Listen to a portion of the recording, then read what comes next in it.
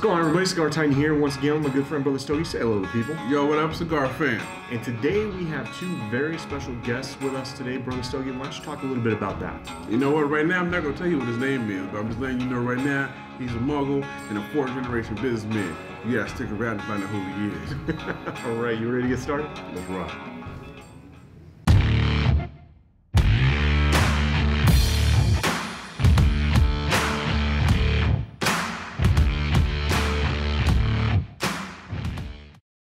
Welcome back, everybody. So we have with us today Luis Cuevas of Casa Cuevas Cigars, Yes. um, and Christine Odell, and she represents Casa Cuevas. Yes. Is that correct? Yes. Yeah. Mhm. And we have some questions for you guys today. You guys ready to get started? I am. Ready. So, nervous? A We, little don't, nervous? we, we told don't don't let the camera make you all shy. We're okay. So tell us a little bit about uh, Casa Cuevas. Uh, we understand it's four, fourth generation, your fourth generation. Yeah, and actually, I'm, I'm proud to say fifth generation. My, my son has come on board. Um, he is a student at FIU, but he's also working actually a little more than part time with us, and uh, he's now director of operations. So, Yeah, I saw that. fifth generation, um, he is not only involved with you know the paperwork and whatnot back at the office, but very much with picking out blends, having ideas, and uh, you know, it's just a, a real blessing to be able to travel with him and visit shops and whatnot. He was at TPE with me recently, so it's pretty cool. Yeah, Okay. yeah. So how did your how did your family get started in the cigar industry? So my, my great grandfather uh, comes from the northern part of Spain, and he goes to Cuba when he was 12, 13 years old, and he wound up going to Pinar del Rio, which is if you look at a map of Cuba, it's a tippy most tip the the westernmost tip of the island, and that's where tobacco grows. Okay. So he just sort of fell into it as a kid and became a tobacco farmer grower. Uh, yeah, it just happened to be that's what the labor there was, and he evolved with it. Then my grandfather took it to a whole different level and actually was very successful with it. Then in 1959, Castro confiscates everything, and then in the late 60s, we all we all left. Um, come back to the United States, and my uncle Sergio started a factory with my father. My dad was essentially financing; he would go back and forth, and my uncle was running the factory. It was in the 80s in the Dominican Republic in Santiago, and then here we are. Um, ult- ultimately, what what occurred was my grandfather, sorry, my uncle and my dad went their separate ways, and um, then I joined my dad, and, and then we just continued with it. So, Okay. yeah. And how long have you been in there now? I've been 100% in this industry now for it's going to be 11 years. Okay. But I was part of that factory going as a kid since the 80s. I mean, when they opened it, so it's been my summers and whatnot. Yeah. Okay. Uh-huh. Okay. So so so coming back to the factory, the, the best thing we love about doing this is we get to give our cigar family and cigar society kind of like the inside scope of what this is all about. Okay. So now we're talking about the factory in Santiago, Yep. Dominican. Okay. So the Tabacalera Las Lavas. That's right. they get that right. That's right. They get that 100%. You did it very well. That's a tongue twister, too. told well Yeah. rounded. I'm, I'm telling you, that's what I'm trying to be. So, what I want to know, probably what a lot of people want to know as well, is what is that whole factory environment like? What is it like being in a tobacco factory? If you're a cigar smoker, as soon as you step foot into any tobacco factory, the first thing you want to do is smoke a cigar. I mean, it's there. Uh, it- you just you just want to do it. But the cool thing about it is you you really get to see and appreciate the labor and love that goes into making those cigars that everyone here enjoys. I mean, from deveining the leaves to sorting them out, deveining wrappers, sorting that out, wetting it, preparing it, putting it in the drying rooms, and then the process of actually blending them, baking them, the presses, then the wrapping. Um, little processes like the draw master machine, which takes care of whether a cigar is going to be plugged or not. I mean, there's a lot that goes into it. And then you move into packaging. That's a world in of its own, right?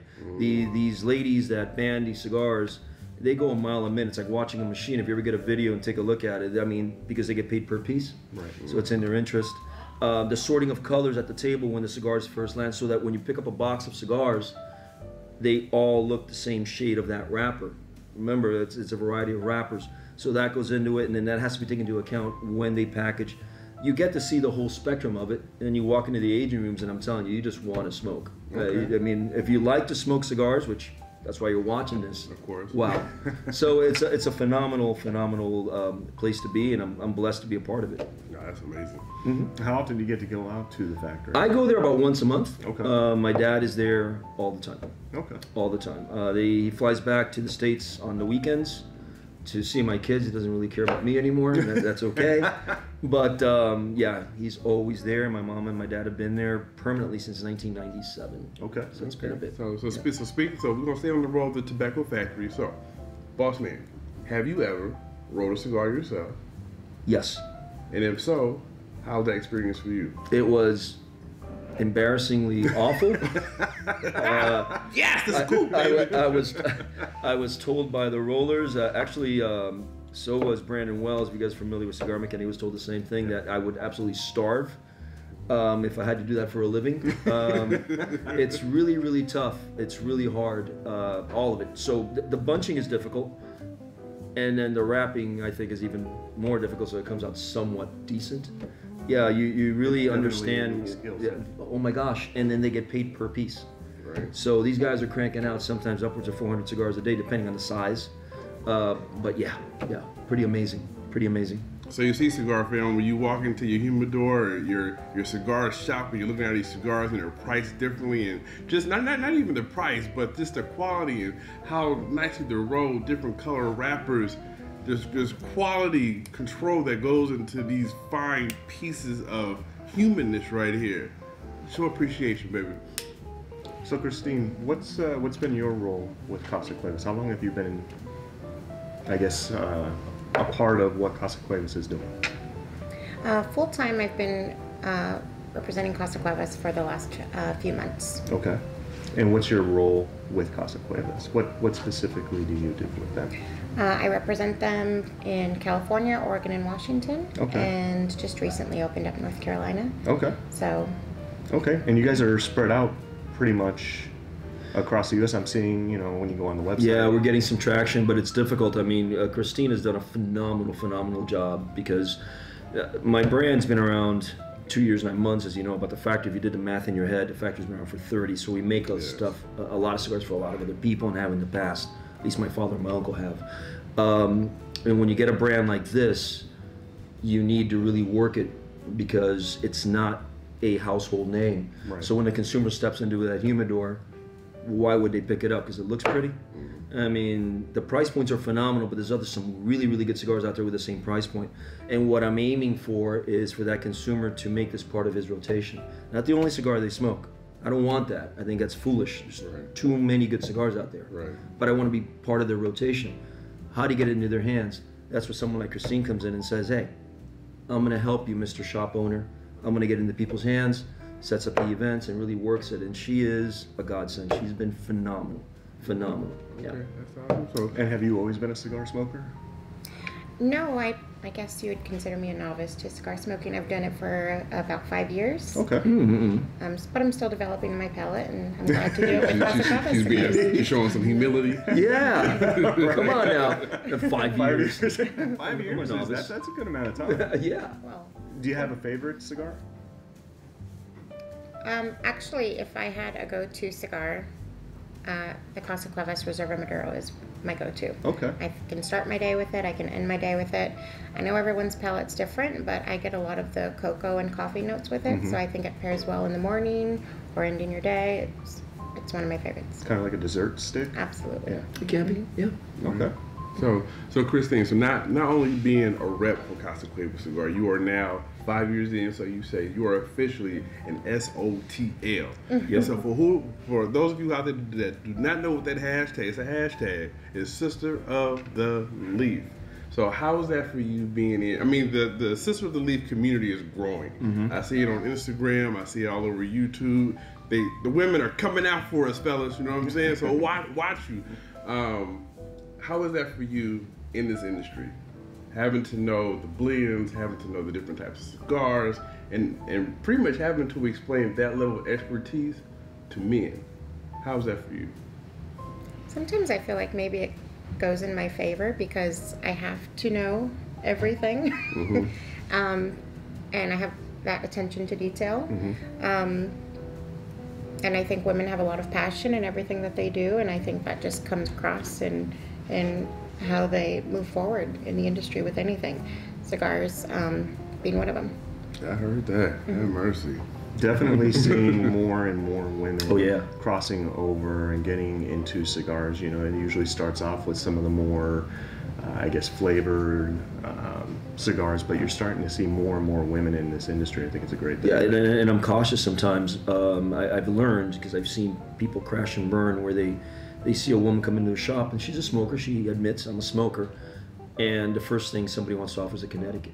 Right. And no, no, no, no. That may be way too soft for her palate. Right. So it's it's interesting to see that dynamic change. And that lady, you got to ask her, what do you like? She may like a really strong Maduro or a spicy Habano, and you know, it's no longer here's a Connecticut. It's gentle enough for you, young lady. Uh, yeah, I've seen some of them get a little upset. Yeah, Yeah, absolutely. yeah, and rightly so. Right. All right, so within the Casa Cuevas line, there's one particular stick that I feel has a particular meaning, that is the Mandarria, which is the sledgehammer Casa Cuevas cigar. Is there a story behind that? Absolutely, and it's a it's an unfortunate story with a great ending. Um, back in December, uh, my father and I bought a warehouse in Miami, Florida, and we started building it out, and we put a humidor so we could hold our cigars and distribute from there. Um, the warehouse itself is your typical warehouse with a bay door, an office door, and there's a back door to an alleyway as well. And the humidor is juxtaposed up against that back wall, so you can liberate the space in the middle. It just makes sense. You put it up against the back wall and you work. In any event, um, we moved in completely in January after we did the flooring and whatnot, and this humidor is built so we can store the cigars. Everything was alarmed. No insurance yet because I was waiting to put fire extinguishers. I was dragging my butt a little bit, but whatever. Um, the idea was if somebody were to get to that humidor, they'd go in through the bay door, the front door, the back door. I got alarms, I got sensors, I got everything. I'm good. No, what they did is they took a sledgehammer and they broke through the back wall in the alleyway and then cut into the middle of the humidor and stepped in Wow. and wiped us out of 25,000 cigars. Um, part of what really hurt, that, that was painful, but part of what really hurt, well, we had these limited edition flacos at the time. These, uh, we called them flacos because they were 7 by 43 gauge, and they were truly limited editions. The boxes were numbered, 10 count boxes. So I made 500 in Habano, 500 in Maduro, and we were shipped those out of sequence from the factory. So some folks had bought certain boxes, and those boxes were numbered, and they were kind of keepsakes. So if Kendall buys box 23 of 500, I don't know if 23 or 500 was stolen or if it was bought by you. So I couldn't very well replicate another 23 or 500 because that undermines your purchase. So those were never to be recovered. That was gone. So we tried to make that up somehow by coming out with a limited edition cigar, and we called it the Sledgehammer as a pun based on the principal tool used. And you know what? It took off, and now it's part of our core line. The limited edition band is gone. We have a beautiful secondary band that attaches almost like a jigsaw puzzle into the Casa Cuevas logo, and it's it's full on. And it's been our most well-received cigar. So we got such a blessing out of that theft. That cigar would not have been born but for Right. that necessity. And it's turned out to be our, our best seller almost to some degree. Uh, it's our most full bodied, it's our most expensive stick.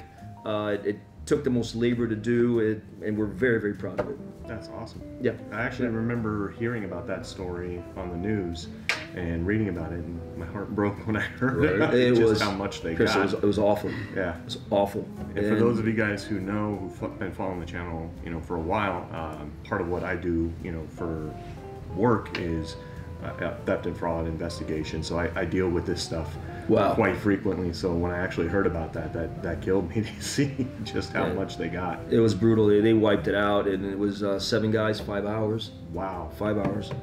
Um, a lot of different things. There, there were cameras all over the front from my, my fellow neighbors there with the warehouse, and so there were cameras in the back, and they were all covered up. The cameras didn't do a darn bit of good. Um, and they took a long time because they were startled, and they came back and they got startled again.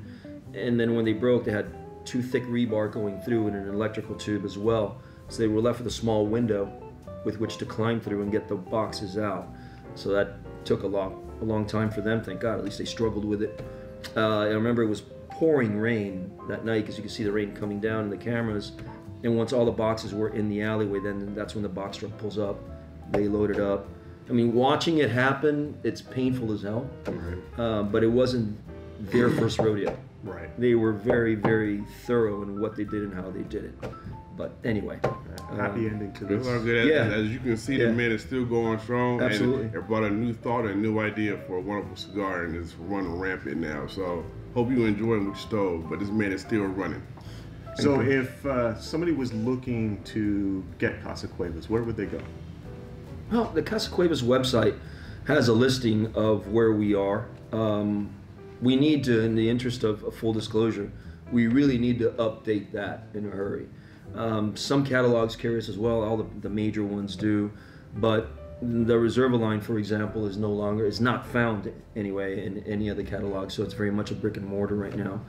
But really, the, your best starting point is if you go to the Casa Cuevas Cigars website, there's a listing of states, and within that state, the locations where the shops are. Uh, we're not everywhere yet. Certainly, would like to be there, and hopefully, we will be there in the near future. But under three years, I think we've grown Yeah, you considerably. expanded quite a bit. We have, we have. Uh, again, because of folks like her. Absolutely. Yeah, yeah. Absolutely. So what's what's in the future for Casa Cuevas? What's next? If the FDA allows us to come May, I certainly would like to expand our, our lines. You're sort of precluded from doing that to a large degree, but I, I think things are going to be okay. If they do so, I'd like to work with different Maduro wrappers. So far, we've worked with San Andres on both the core line and the Reserva line. I'm really looking at a project with perhaps Mata Fina from Brazil. I'm excited about that. Um, I certainly want to expand the Reserva line. The Reserva, line, and I'm going to get geeky on you, is a predicate product. So that one's exempt from being touched by the FDA. I'm limited to sizes, but we have still to be able to launch a Lancero in that size, a Corona. So maybe sizes. I think a lot of folks are turning now to the smaller gauges.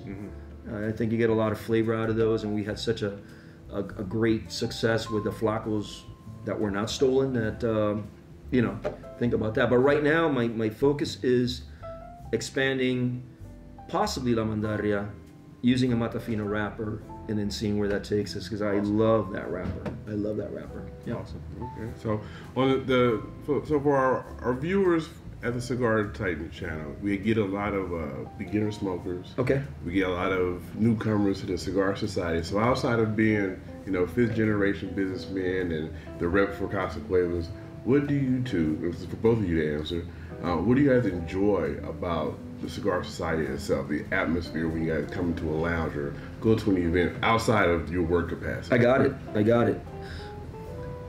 The thing I like about going into a lounge and you guys that come into it, it is I possibly the friendliest environment Right. about anywhere. I mean, you go into a bar and you certainly don't get that kind of Right. camaraderie, the, the welcoming. More often than not, shops people walk in and they'll shake everybody's hand in that shop. Everybody kind of knows each other, and you know what? You're you're you're what whatever resources life has thrown your way really don't matter at that point. So you can have the multimillionaire sitting next to the gentleman who mows lawns for a living, next to the guy who's retired, uh, and they're sharing that cigar and that commonality that brings them together. Exactly. I, I, I urge you to think about some other venue where you go in and have that happen. It doesn't happen at the same restaurants because they don't frequent the same restaurants. It doesn't happen at the same lounges. They don't do that when they play golf. They probably play golf in different locations Right. because of the cost involved and whatnot. But damn it, they sit down and smoke a cigar and they're all the same. Exactly. And that's really, really cool. I think it's super cool. And then you get networking happening within that too. Yeah. So uh, that's the thing I enjoy the most. What about you, Christine? I agree. I was going to say same thing. Took the words right out of my mouth. Do you work any of the events? Are you usually present at any of the events? Is there any events coming up that you're going to be attending? Uh, absolutely. So uh, we had an event last night at Calibra Cigar Lounge in Ontario. Uh, one the day before in Arcadia. Um, and uh, we don't have any events scheduled in the near future, but I'm sure that will be changing soon. Okay. So I'll And- keep you posted. Okay, great. And if somebody was interested in kind of keeping track of where you're going to be? Is that something they can find on your website, social media? How would they how would they be able to track where you guys are going? Yeah, so I, I post everything on my social media. On Instagram, I'm Smokey Affair. So I usually will post any upcoming events Okay. uh, leading up to it. Okay. Great. So kind of jump off a topic last night, so that you guys know, we were all here under the same house, enjoying cigars and each other. And it was Super Bowl yesterday. So was was the outcome what y'all expected? Were, were your favorite teams playing? I know my team wasn't playing because the Rams got thrown out weeks ago. You know, so did you guys enjoy yourselves last night? I, I did. I'm a Dolphins fan, so let's not even go there. Uh, but you know what? If they ever make it, and when they make it and they win it, I, at least I, I told my kids, uh, you can always say your dad was never a fair weathered fan. Right? I've always been with them, so I've, I've, I've been suffering for decades. Um, aside from that, you know what? I was surprised actually that the outcome turned out to be what it was, especially. 20 to 20 to 10 at one point, Couple, and the right, game was essentially what six that- minutes and change. Yeah. So that was it was amazing, and it was another good Super Bowl. We've had a, a good string of good ones because Yeah. y'all remember for a while there were blowouts, and Yeah. by halftime you just you don't care anymore. Right. So yeah, it was a damn good game. Yeah. Damn good game. All right, Cigar fam. So we are done with this interview. Hope you guys enjoyed the show as much as we have. Luis from Casa Cuevas Cigars, we enjoy. Thank, thank you for coming out. Yes. Thank you guys very much. We Thank appreciate you. it. Thank you guys. And I thank you for coming in and representing the Sisters of the Leaf that are both reps and within the cigar community. So if you are new to our channel, go ahead and hit that subscribe button, hit that bell right up there so you get a new notification every time we get a new video. And until next, folks, live how you smoke, smoke how you live, and that's smooth, baby. Take care, everybody.